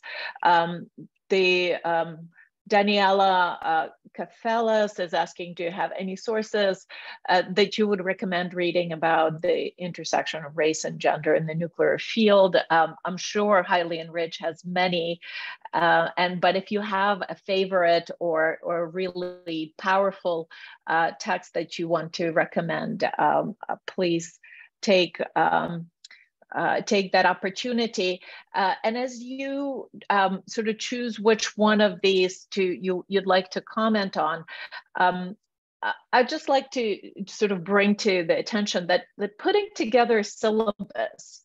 Uh, in a way, at least for me, it was like creating a narrative, right? Um, it's like thinking, how will I tell this story? There's a story to be told there of of kind of the advent of nuclear weapons into political and social and economic life of this world what how can one tell a story and and what a what Anne said what what is the purpose of it right? What do I want the students in the end to come out with to do I want them to to start thinking about like practical solutions you know these are the problems okay you guys need to find a solution go. Or do i want them to actually you know ponder to to understand just how difficult it is just how many perspectives there are and how you know how hard it is to zero in on, on any one answer. So if you could share the experience of the actual putting together of a syllabus what are some of the things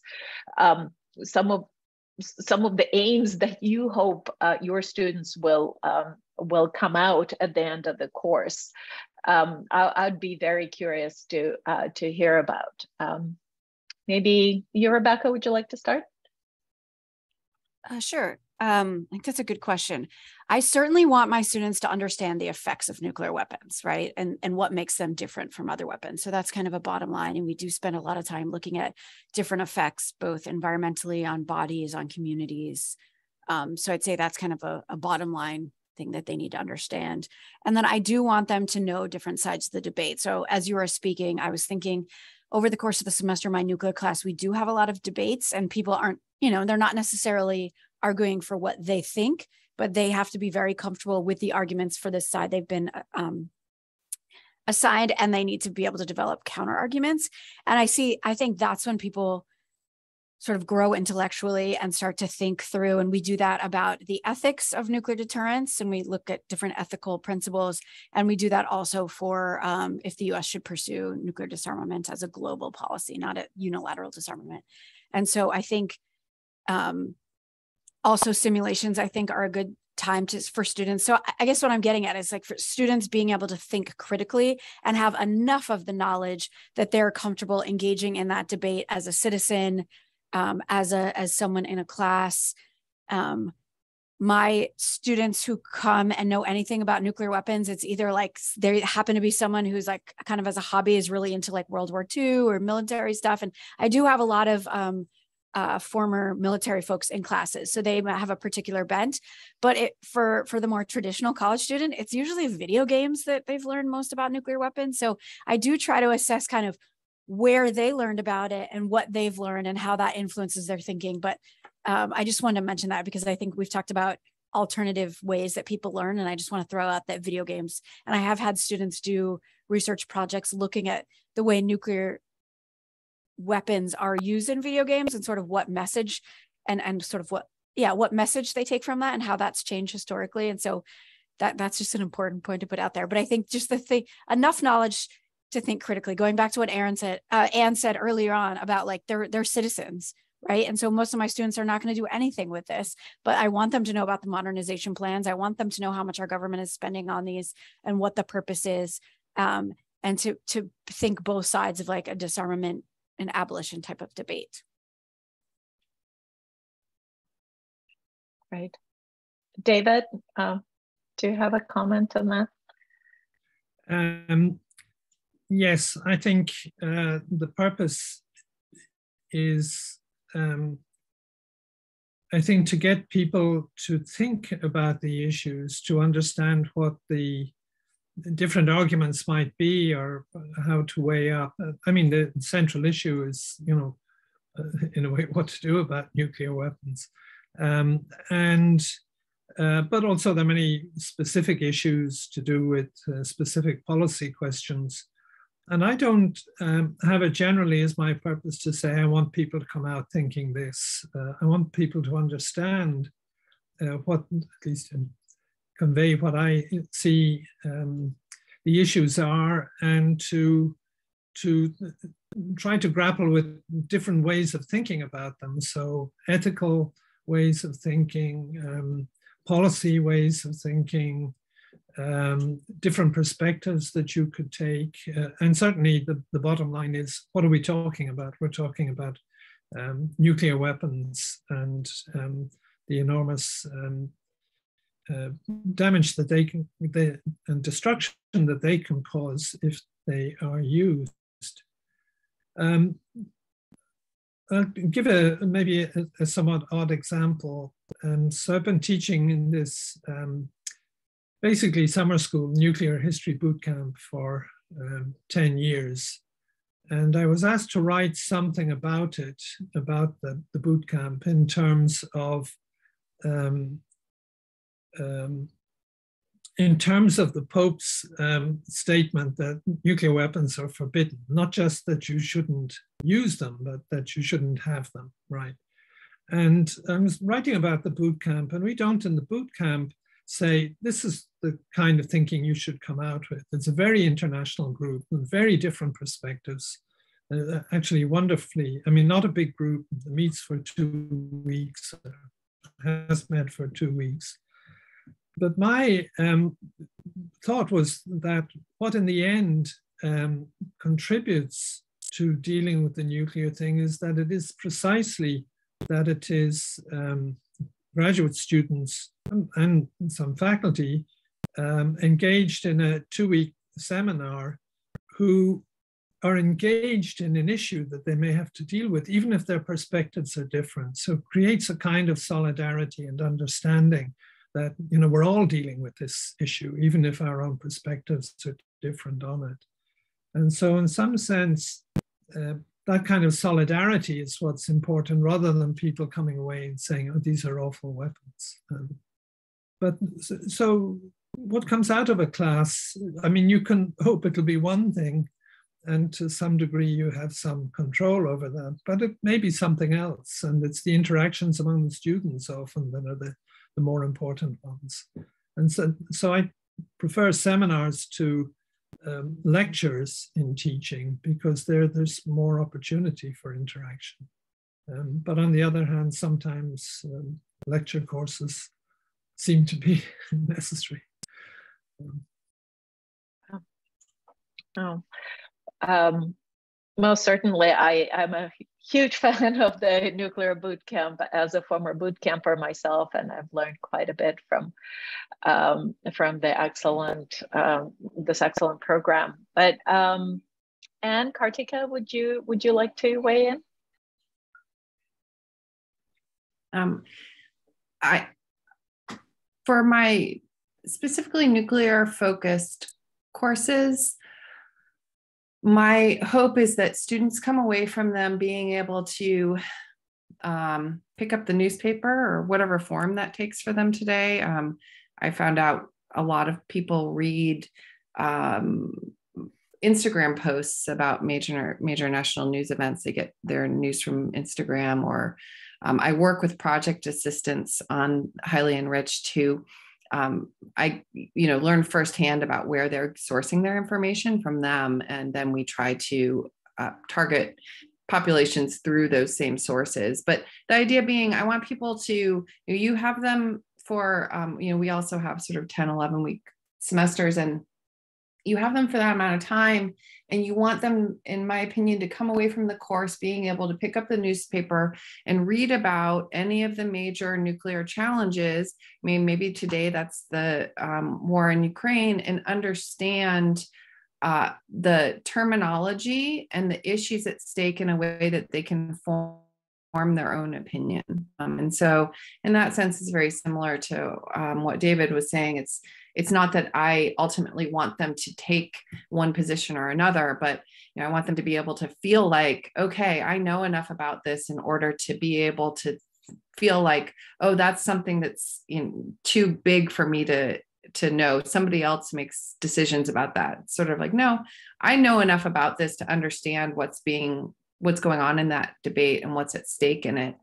Um, in the courses that i teach that um, start with issues of gender um, those courses are also i think um, in some ways about um, i think for me um, i'm uh, i'm in a same-sex marriage the courses that I took in college and in graduate school, where I read about feminism, um, I read queer theory, I read all of those things.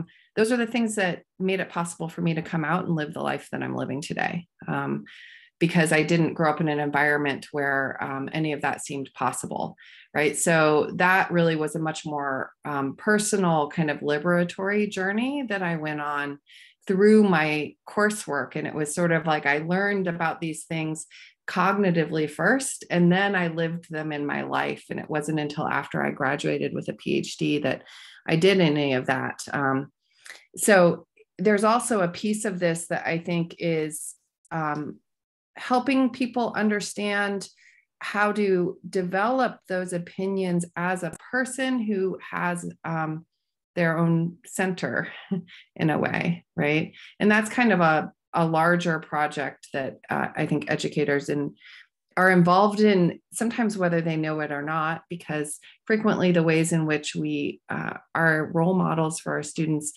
are, in ways that we're not necessarily even aware of Hi, uh, my deepest apologies. I turned off my video just to step away and close the door because there was somebody mowing the lawn and I can't turn it back on, but I promise I'm here and it is still me. Um, uh, so as I'm trying to deal with that, uh, Karthika, do you uh, do you have sort of a narrative uh, that you strive, not a narrative, but what is it that uh, that you might hope the students will uh, will come come out with? oh, you're back. You're back, Mariana. Okay, great, great yeah I, I actually found that very interesting and uh, you know we might be role models to our students in ways that we don't recognize it's kind of a daunting thought um, i think i i think i look like and sound like the moms of many of my students at this point you know given uh, given my age now um, i don't i don't know that that's a good thing necessarily uh, but anyway, so in terms of my goals, you know, that's a, that's actually a really good question, um, and I think that has evolved, um, and it has to do with what I mentioned a few minutes ago. I think initially when I started teaching, my goal was, you know, they need to know about command and control, right? They need to know about the stability instability paradox. Like that is my goal in this module or in this. Um, and I I actually have given I, I, okay, I don't want to say given up on that. I think I have moved away from that. Um, I think my goal is more um, for them to kind of pick up these sort of habits of thought, right? So when they see an argument, how do they approach it? How do they identify what political um, motivations might be behind it? Uh, so to not uncritically accept for example, a national security rationale behind an argument and to ask, well, whose interests are being served by making this argument? Uh, but more pragmatically, um, you know, my students, so I only teach undergraduate students, uh, most of them are not going to go on um, and work in um, national security. They're not going to be staffers on Capitol Hill right away. Uh, most of them are not going to go on to grad school. But what they are looking for is to work in government in one way or the other. And so, what I try to do, um, I only teach nuclear weapons as a seminar once in about three years. I only get to do that occasionally. Um, and I'm obviously very happy when I get to do that. Uh, and then I teach an international security course um, once a year which I'm doing right now. Um, and in these courses, I have a lot of what I call professional writing. So I teach them to write memos, I teach them to write executive summaries and briefing documents all of which they could use for non-nuclear weapons and non-security related jobs when they go on the job market uh, fairly soon. So most of my, my students are graduating fairly soon. Um, so, so there's a pragmatic aspect to that, but then, you know, being an informed citizen um, and sort of looking at the BS behind the argument is how I like to put it. All very, very good um, uh, kind of goals uh, to have in mind. And indeed, I, I think uh, it, when I was sort of putting together my syllabus, I thought, I thought of it this way. I thought, uh, and I might be completely wrong about this, but for me, somehow the late 40s were this kind of big bang uh, of things nuclear where every important concept and movement and idea uh, was born right? And then it kind of developed uh, and changed and evolved over time. So you know deterrence how that kind of evolved. Um, disarmament was right there right then right? Very early on. Uh, international control of nuclear energy all of these ideas really kind of sprung up together with the nuclear weapons and a lot of the ethical questions uh, that we grapple. But they did, you know, as we kind of kept perusing them um, uh, through the through the decades, um, they took new forms and institutional forms eventually, uh, and so on. So sort of these various meanings and forms right of that were sprung from from the advent of, of nuclear weapons in the world. And i said you I will hope to teach you to think and read critically write concisely and present. Uh, right i think presentation is one of the skills that um, is very daunting for a lot of uh, people, but it's it's it's an incredibly um, important. Um, and we are um, we're almost out of time, and I, I, I thank you so much for all the interesting and and really insightful thoughts. And just to wrap up, I. It, it struck me that the the, the title of this seminar could have been uh, not just beyond the canon, but beyond the text and beyond the classroom right? One thing that came, comes out is that this issue of existential threat right? One of the very few existential threats thank goodness for now that we're facing as humankind is a very niche issue. Very few of us get to even teach a full course in nuclear weapons in the institution that we teach. Uh, sort of this this huge separation between kind of the monumental importance of the consequences that nuclear weapons bring about in this world and kind of the the the weight of it in in academia right? It's it's a niche issue even within security studies and political science. So it it strikes me as you know we are honing these citizens right? Informed citizens um, this is part of our job. Uh, my my I guess final questions as you reflect and, and wrap things up is how what do we do beyond the classroom right? The classroom is already a very limited venue um, and here we are we're people who care deeply about uh, about these issues. Um, what could we do um, you know in terms of awareness in terms of reaching out uh, uh, to more people? And um, i'll go in the reverse order then. Uh, maybe anne if you could um, if you could go first then. Uh, that's, I, I think, um, if I could answer that question, I'd um, have a lot more money from Carnegie Corporation and other funders, because you know this is always the thing that they want um, out of their projects. Um, uh, you know, there's kind of these hard incentives that we have within our field because the thing that does the most for my career is the kind of thing where you um, convene a group of scholars, have a conference, do an edited volume, and hope that someday the book comes out in, in paperback, right? Like um, that's best for promotion, like my personal promotion at work. But what's best for public outreach is actually thinking outside of the box in terms of working with designers, working with web developers, working with people who can create things that can live in this digital world in a way that are easy to pick up and consume. And um, So even though it's not necessarily in, like incentivized in terms of um, you know what I would think of as a, a career path that's emphasizing research, you know, every everything I choose to do that is more in this realm takes time away from my research. Um, but I decided to become a N Square Fellow, applied to be an N Square Fellow a few years ago. And it's what Highly Enriched came from. And the reason is that we were at the Rhode Island School of Design and we were with this group, uh, interdisciplinary group of people who included engineers um, who could build web pages, right? So all of a sudden we had the opportunity where we had kind of in-house skills in terms of design and, and web development where we could make something new and try it out. And I think that when we think about public outreach, right, there is the path and there's an important piece of our professional obligations that I think are is about um, being a public intellectual in the sense of um, writing our academic work and then um, publishing in blogs and newspapers and doing public facing versions of that. But there's also this increasingly this other piece of um, thinking about where people are where where our students generation is going when they're looking for this kind of information and doing the work to figure out how to meet them where they're at, even when that's not necessarily incentivized within our academic institutions. Yes, thank you so much. And that's that's a very important point. Like the formats that we are used to, perhaps when we were students or we were, uh, might be irrelevant or might not be the most effective in reaching this this new generation. Right? There's simulations, as we said, gaming, you know, uh, videos and, and all of these new formats that require different kind of skills, even for what we've been trained for. Um, David?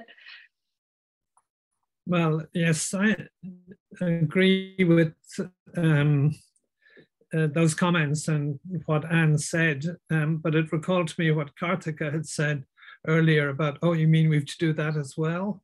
And um, so my feeling about this is that the community uh, of scholars needs to take this on, but it's not for everyone to write op-eds and academic articles and appear on, on television and so on. People have different skills and different abilities. Some people are good at explaining things to others. Some people have very interesting ideas, which they're very bad at explaining to people. So I think it's um, one shouldn't say, oh, I'm, now I'm probably, this is kind of justification of my own activities. One shouldn't say, oh, I should have done all of this. Um, no, I, I have um, a certain set of things that I think I can do. And those are the things which I think fit in and I should do those things. But the community has a responsibility. So the fact that Anne is doing this uh, with um, enriched uh, and that others are making um, you know, syllabi, resources available, uh, archival materials available. There's all kinds of stuff going on that's, I think, uh, acceptable or helpful to researchers. There are people who, who are good at writing books that will reach a, a broad audience, and there are others for whom that's not the in a way the primary concern. So I think for the community, it's very important to be able to do all of these things. But I think one shouldn't feel that one has oneself on top of, uh, you know, Karthika's comments about, oh, we've to do this as well in our teaching, um, to do all of these other things too. So um, I, I think, and I think that's an interesting choice people have to make. Am I, do I write good op-eds. Writing an op-ed, good op-ed is a skill in itself. It's not the same as writing a, an academic article, and you might be good at one and not necessarily good at the other. And that's not, you know, that probably won't help so much in, in promotion and your, uh, your career, but it's not the same thing. And so one has to realize, you know, what is it that I can do that can contribute to this? It's not all on my shoulders to do every bit. So I agree very much with the need um, to make things available on different platforms and different uh, media. I think that is uh, extremely important. Um, but it doesn't mean, I think, that everyone has to do it. I think my point was clear. yeah, David, we'll, I'll clip this recording and have it played for every tenure committee there is. we could, uh, we could um, have your words of wisdom uh, that could hopefully be imparted to more uh, to more people in charge. Uh, mm. Karthika, would you would you like to reflect? Yeah, I I see we're almost out of time. So I just want to uh, say that, you know, uh, I want to say two things very quickly. One is to just echo what David said. And so I'm moving more into administration and governance myself uh, in my career. And I think one of the things that I'm trying to do is to encourage tenure committees to be more open to, you know, what Anne was saying, to um, recognize work um, that is rigorous um, and informed by research, but at the same time is not the 30 page, uh, you know, double blind peer reviewed article in uh, one of the top three journals that everyone is supposed to want to publish in. Um, and uh, secondly, and that's actually linked to my second point, which is open access. So I have found that, you know, people are, um, especially those that are not in our field, are somehow horrified by the idea that if you don't have to pay in order to read something, then it has no value. Um, and it's just kind of, you know, bizarre to me. So I think that there has to be a, a, a kind of a mindset change in terms of tenure committees, promotion committees um, to understand and, and allow uh, scholars. And I think in spite of that, you know, when you look at the work that Anne is doing, Alex Wellerstein, a lot of uh, people and they're actually doing very well in their professions as well. So it's very heartening to me that we're no longer bound by that sort of you know old fashioned notion. Uh, but i'll let uh, rebecca wrap it up and bring us to the end. Yes. Rebecca um, I, I really appreciate what people have said about people kind of finding their niche and doing what they're good at doing. I love talking about nuclear weapons. So, um, you know, I teach about them, but it is, I, I, feel like part of my personal kind of goal and mission that people know that, that the public knows more about these issues. And so the way I do that is, you know, a lot of people have world affairs councils in their cities or towns. So I like to give a talk at the World Affairs Council. Um, in a couple weeks, I'm going to be talking about it to my grandfather's um, assisted living facility about nuclear weapons, and I think that will be lots of fun. I do note that both of those tend to be on the older side and probably people who already are conscious of nuclear weapons because of their history and because of growing up. So I think one of the big challenges is kind of the middle school, high school age and kind of where, how do we engage with them, whether it's volunteering to talk in a social studies class. Uh, I did, after the Ukraine war started, my third, my daughter's third grade class was really inter- interested in nuclear weapons, but the teacher decided that probably wasn't a good thing for me to come in and talk to them in third grade. And I think I agree uh, with her pedagogical assessment there, but I do think that kind of figuring out how to kind of reach younger people, I think is the real challenge and like what Anna's doing and thinking about um, different modes of how they learn um, is something that we all all need to work more at. But I uh, thank you so much for for doing this, Marianne. I think it's been um, really interesting, really interesting discussion. Well, what made it interesting is your contributions, and we're uh, right on the um, um, on the mark. Whether timing, uh, on behalf of all of us and all the audience, I'm sure. Uh, thank you so much uh, for um, for doing what you're doing, actually, and for all the uh, the the, the efforts that you've put in and teaching and, and thinking about this and, and researching um, and going well beyond that, of course. Uh, and of course, for, for joining us today um, at the seminar. Um, uh, wish you all the best of luck. Uh, there's a lot more work to be done, it seems, uh, given the, the circumstances out there. Um, and with that, um, a big round of applause to all of you. Uh, and the the meeting is adjourned. The uh, the seminars. Of, thank you. Thank you very.